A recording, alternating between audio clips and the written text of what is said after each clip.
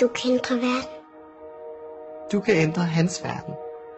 Du kan ændre hendes verden. Du kan ændre min verden. Du kan ændre verden ved at sige stop, når nogen bliver mobbet.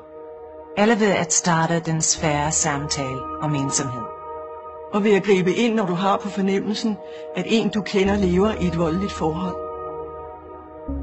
Det kræver mod at ændre verden, men vi skylder hinanden at turde.